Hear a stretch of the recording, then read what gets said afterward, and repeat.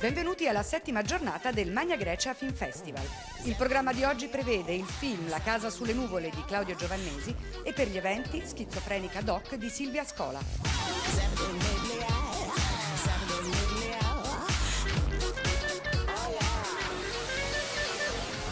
Io mi sono rotto i coglioni a guidare.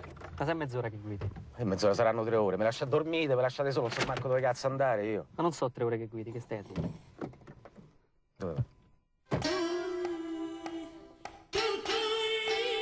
Mio film La casa sulle nuvole racconta il viaggio di due fratelli che mm, sono costretti a partire perché la casa dove vivono è stata venduta.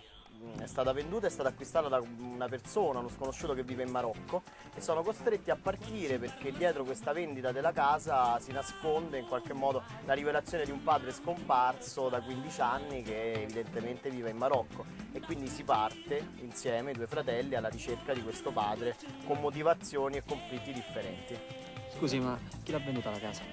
Il legittimo proprietario, no? Il signor Dario Raggi.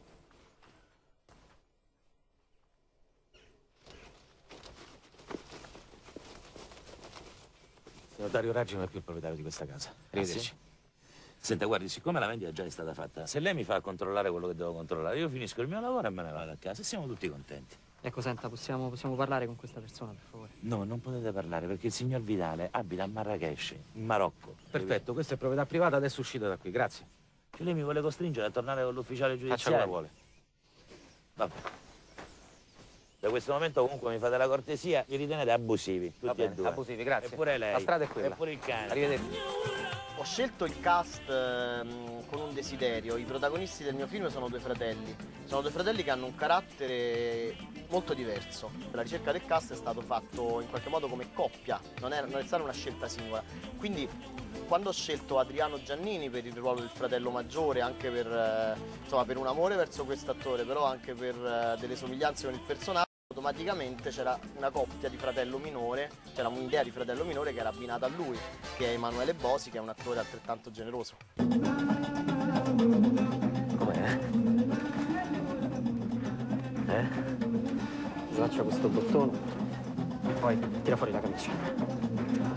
Fatti vedere? Mm? Ok, perfetto. Il viaggio che loro fanno è sì un viaggio geografico, ma un viaggio che li porta in qualche modo alla ridefinizione della propria identità, è un viaggio che almeno spero dovrebbe essere alla riscoperta dei propri legami di sangue, in cui all'interno del viaggio cambiano i rapporti interpersonali, al di là della meta del viaggio, il cambiamento avviene durante il percorso.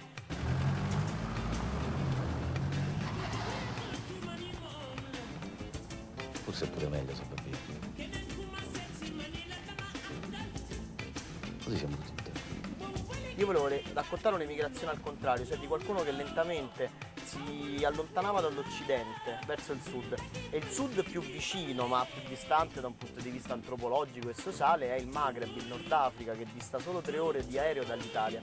E quindi per raccontare questa emigrazione al contrario siamo andati io e gli altri sceneggiatori a fare una bellissima documentazione perché è stata un'esperienza di vita fortissima sugli italiani che vivono a Marrakesh.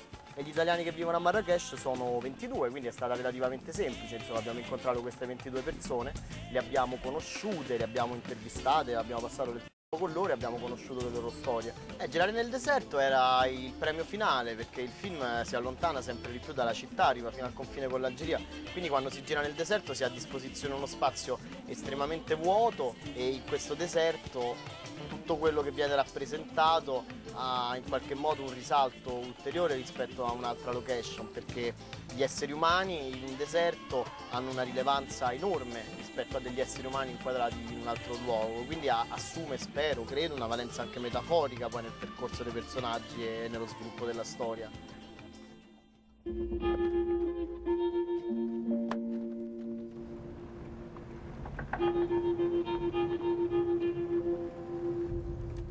Stai tranquillo, dai. La strada è quella giusta.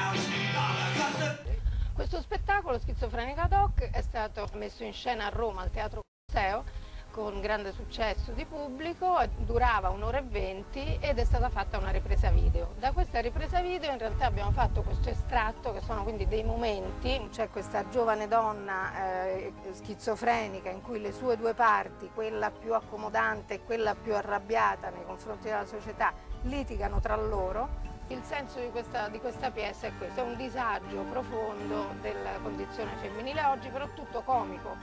Ma perché adesso è colpa mia? Adesso è colpa mia, ma se sei tu che mi sei messa a ridere proprio sul più bello, eh? No, ragazzi, no, calma, eh. Calma, non perdiamo la calma, va bene? Ricordatevi che divise non andiamo da nessuna parte, eh? Quante siamo qua? Quante siamo, eh? Gianvito Casadonte, direttore del Magna Grecia Film Festival, lo ha visto a Roma, si è innamorato di questo spettacolo e l'abbiamo portato qui a Soverato l'anno scorso. E quindi quest'anno, eh, che sono in giuria al Magna Grecia Film Festival, Gianvito mi ha detto ma perché non porti quell'estratto così lo presentiamo? Sono molto contenta di essere in giuria in questo festival di opere prime perché l'opera prima è proprio l'inizio, la nascita di un nuovo autore e dare la possibilità a dei giovani che hanno qualcosa da raccontare di poter essere visti, apprezzati e conosciuti è una cosa importantissima. Arrivederci a domani con il Magna Grecia Film Festival. Vi parleremo del film Aspettando il sole di Ago Panini.